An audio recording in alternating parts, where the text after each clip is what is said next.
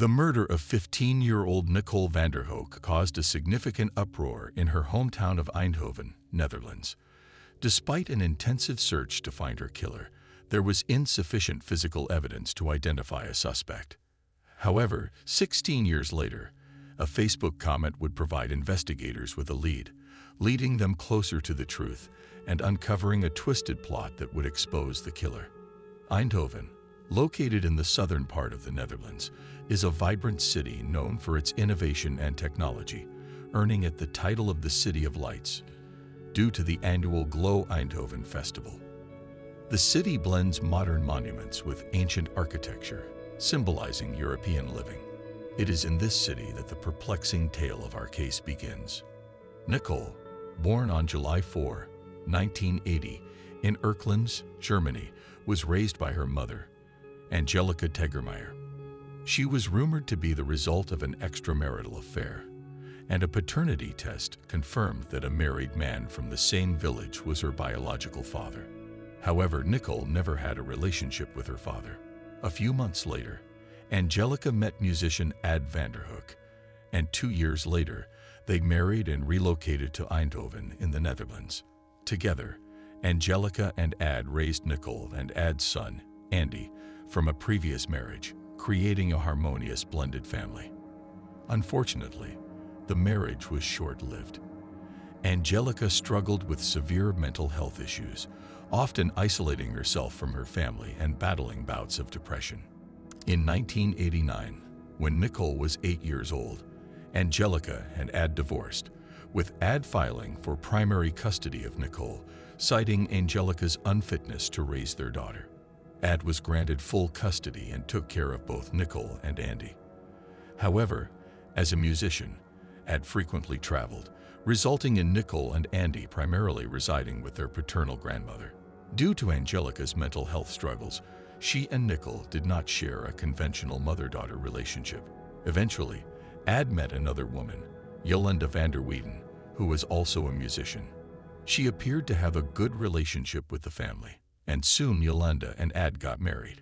Both being musicians, Yolanda and Ad frequently went on tour, leaving Andy and Nicole to be raised by their grandmother in Eindhoven. Nicole had a close bond with her grandmother and didn't mind this arrangement. In April 1995, when Nicole was around 14 years old, Angelica took her own life. Nicole was devastated by the news, as it meant she lost the opportunity to mend her relationship with her mother. However, her family and friends rallied around her and prevented her from falling into a dangerous spiral of depression like her mother. Ad did his best to comfort Nicole, and her friends became a support system for her. She eventually focused her mind and secured a job at a bakery in Woensel. Keeping herself busy helped her steer clear of intrusive thoughts. According to her family and friends, Nicole was a good person, trustworthy, and highly responsible. On October 6, 1995, Nicole left her grandmother's house around 5 a.m. and rode her bicycle to work. This was her daily routine, and she never missed a shift without a valid reason. So when Nicole didn't show up for work, her manager and the bakery owner contacted the police to report her as missing. The police then reached out to her grandmother and father, who hadn't seen Nicole either, and confirmed that she had left for work as usual. The police immediately initiated a search, combing the area and questioning people about any sightings of Nicole or her bike nearby. It wasn't until later that same evening that Nicole's bicycle was discovered along the bank of the Dommel River, but there was no sign of Nicole or her belongings. Considering Nicole's background, investigators began to entertain the possibility that she had run away from home, as some teenagers do. Despite the loss she had experienced and her extended family in Germany, Nicole's father, Ad believed it was highly unlikely since she hadn't displayed any signs of rebellion or a desire to leave. The search continued, and on October 19, 1995, Nicole's backpack was found near the Eindhoven Canal. Investigators received numerous tips, amounting to nearly 300 leads. However, a significant development occurred on October 24, 1995, when an anonymous man called the police station claiming to know the identity of Nicole's killer. the call abruptly ended before it could be traced, leaving investigators with more questions than answers. This turned the course of the investigation upside down. Police intensively interviewed Nicole's friends and family, carefully reviewing all available evidence in hopes of making a breakthrough. Yolanda, Nicole's stepmother, reportedly sought assistance from psychics as the frustration of Nicole's disappearance weighed on everyone involved. The psychics directed the search toward two canals. Investigators used search and rescue dogs to thoroughly search the suggested areas, but no trace of Nicole was found. However, everything changed on November 22, 1995, when a hiker stumbled upon human remains in the woods between the towns of Mierlo and Lierop. The hiker promptly reported the discovery to local authorities, who arrived at the scene and already had suspicions about the identity of the remains. Through forensic testing, the remains were confirmed to be those of Nicole van den Hurk, bringing the search to a tragic end. An autopsy revealed that Nicole had suffered two jaw fractures, head and finger injuries, rape, and stab wounds from a small knife that had also broken a rib and caused fatal internal bleeding. Her family was devastated, especially when they were informed that there was no evidence to identify her killer. Nicole's funeral, held on November 28, 1995, drew over a thousand mourners who wanted to pay their final respects to the young and beautiful blonde teenager. However, this was only the beginning of a long journey to achieve justice. Nicole's boyfriend at the time was interviewed, but as a minor, his name and photo were not released, and he was cleared due to a lack of evidence linking him to the murder. The police also attempted to identify the anonymous caller by broadcasting the phone call on national television in January 1996, hoping that someone would recognize the voice and come forward. Unfortunately, this strategy yielded no results. The case quickly turned cold until police made yet another discovery. They found another lead involving Celine Hardox, a friend of the van der Hurk family, who was arrested in Miami in February 1996 for drug trafficking. During her interrogation, she claimed that the men she had been working for were responsible for Nicole's murder. Celine further stated that she was forced to become a drug mule to protect herself because of her knowledge of the crime. Initially, Ad believed her and supported her claims, but as time went on, her stories became less credible. Police questioned her further and were able to uncover the lies in her story. It turned out that she was simply trying to reduce her prison sentence, and Ad distanced himself from the story. Police then decide to bring in Ad and Andy in for questioning between May and June 1996 concerning Nicole's murder. After days of investigation, both men were released due to lack of evidence linking them back to Nicole's murder. Now, despite the growing reward for information on Nicole's murder, no relevant leads emerge, and the case grew colder. In 2004, another team of cold case detectives tried their luck, but their leads didn't pan out either. As the years passed, the case remained unsolved, and the family continued to struggle with the loss of Nicole. Andy, in particular, developed psychological problems, turning to alcohol and battling depression.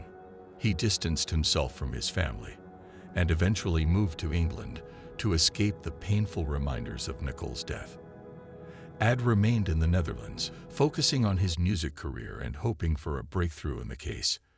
Ad and Yolanda eventually went their separate ways, with Ad moving to Spain but staying in touch with Andy through phone calls. However, the emotional toll of Nicole's death strained their relationship over time. The case took another shocking turn on March 8, 2011, when Andy posted a confession on Facebook claiming to be responsible for his sister's murder. He was promptly arrested by British police, and while in custody, he made a similar confession. This led to Andy being extradited to the Netherlands for trial, but there was no substantial evidence apart from his Facebook confession. When questioned about his son's confession, Ad surprisingly didn't believe Andy and thought he was seeking attention after the media attention surrounding Nicole's case. Yolanda was also interviewed but couldn't provide much evidence.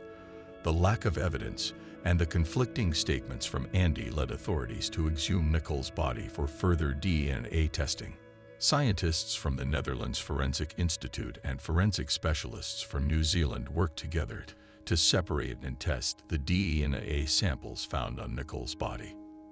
The case was reopened in 2012 with renewed scrutiny and investigation.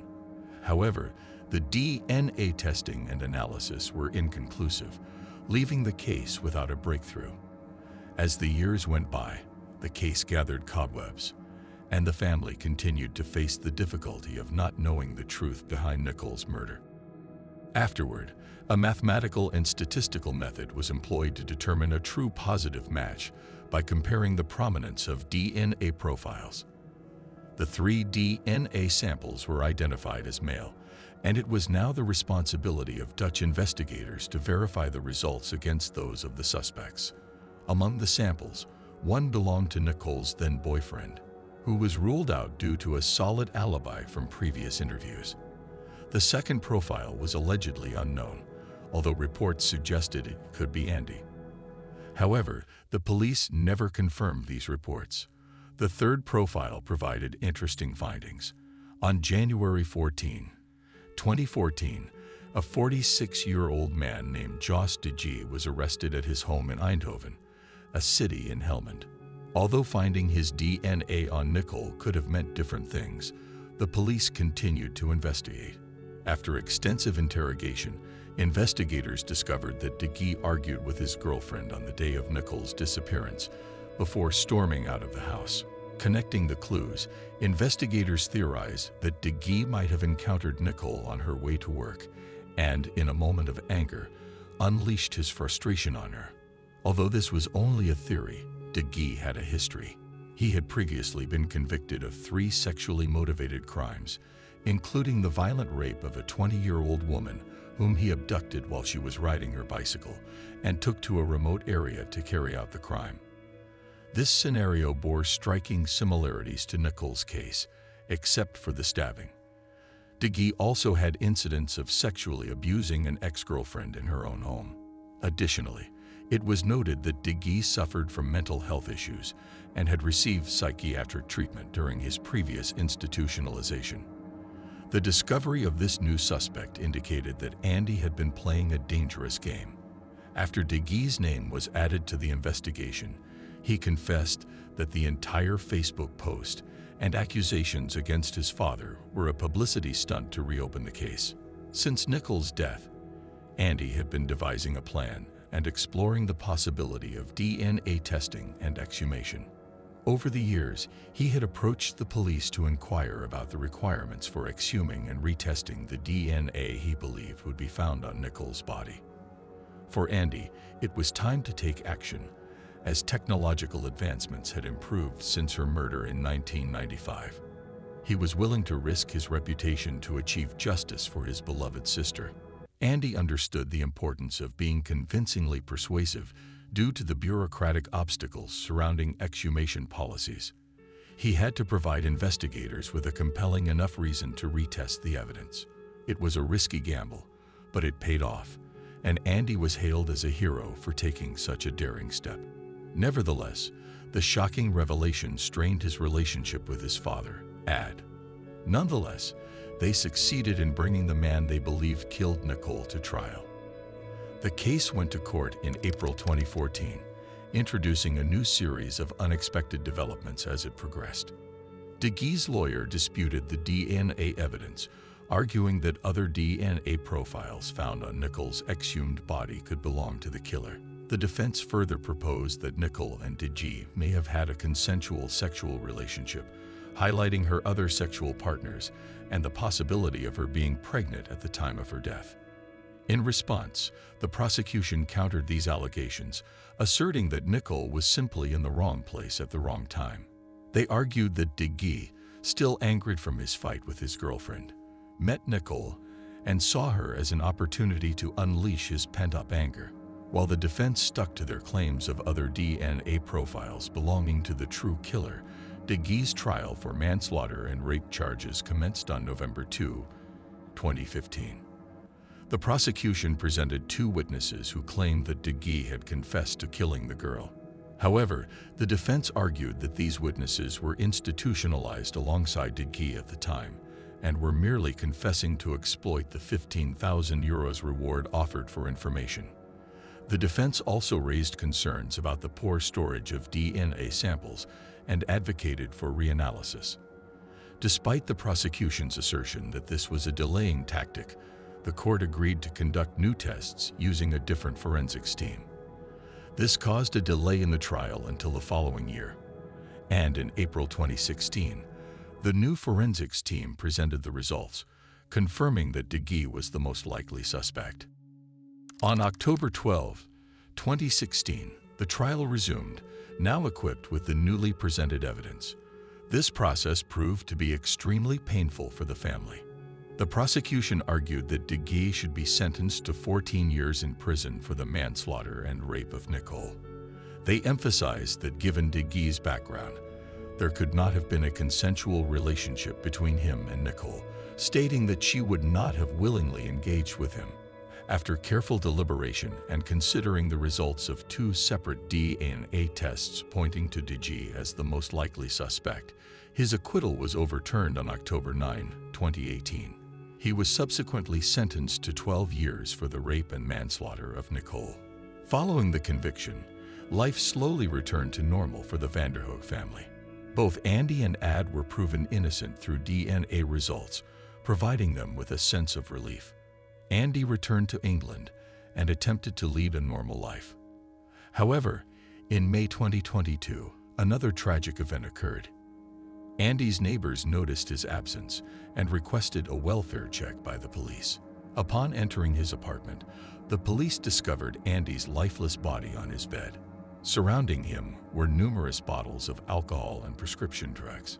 Toxicology reports later confirmed that Andy had taken excessive amounts of alcohol and drugs, resulting in a fatal heart attack. Investigators concluded that the stress of Nicole's murder and his relentless pursuit of justice had taken a toll on Andy, leading to his depression and eventual suicide. Given his history of mental health struggles, it was a tragic end to Andy van der Hurk's remarkable and heroic story. Many regarded him as a man who loved his sister unconditionally and was willing to risk his reputation and freedom to solve the mystery of her murder. Not only did he help solve Nicole's murder, but he also assisted in removing a dangerous criminal from society, making him a true hero in the eyes of many.